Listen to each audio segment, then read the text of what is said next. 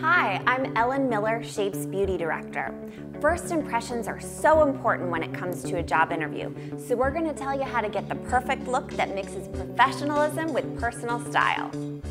Don't focus too much on one feature. You want the interviewer to focus on your stellar personality, not that smoky eye. Here are some tips that'll make you feel like a million bucks. Make sure you even out your skin tone and hide any flaws with foundation. Then dust soft pink blush on the apples of your cheeks for a fresh, natural glow. Finish it off with Revlon's Grow Luscious Mascara, and that should do the trick. Keep your lip color as close to your own as possible, and a matte finish really looks best. Try Revlon's Just Bitten Lip Stain. It's available in 10 shades, but we love Beloved and Frenzy for a super professional look. Now that Jordan has understated yet polished makeup, she's totally ready to ace that interview.